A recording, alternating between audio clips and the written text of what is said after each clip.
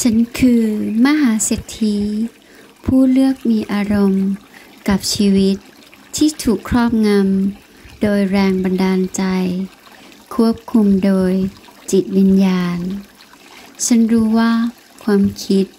ที่ถูกครอบงำ ที่โดดเด่นที่สุด ภายในหัวใจของฉัน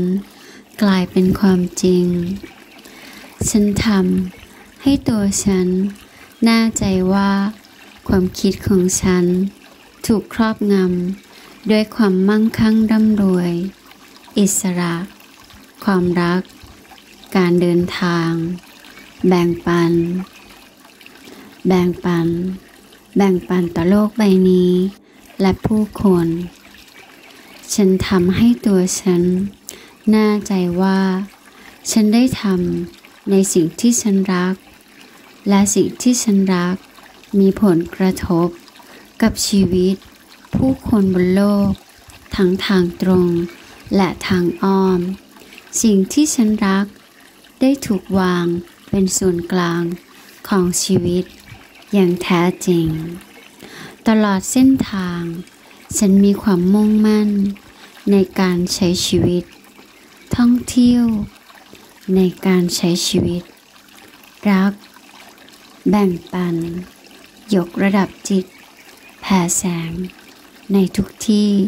ที่ฉันเดินทางไป ฉันคิดถึง การที่ฉันเป็นนักพูด นักเขียน นักสร้างแรงบันดาลใจ ฉันเป็นนักพูด เพื่อเปลี่ยนโลก ฉันช่วยเปลี่ยนแปลง ชีวิตผู้คน ฉันเป็นตัวอย่าง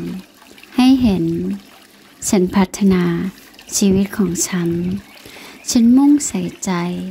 กับรายละเอียดของชีวิตของฉัน ชัดเจน ฉันฟังจิตวิญญาณของฉัน ฉันรู้ความคิดของการเป็นนักพูด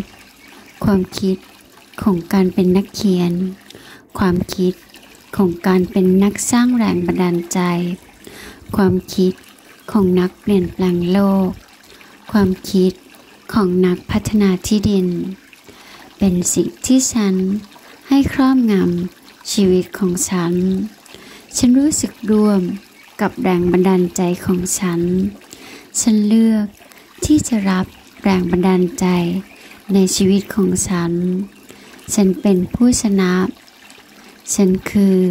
ผู้มั่งคั่งร่ำรวย ฉันมีชีวิตที่แสนวิเศษ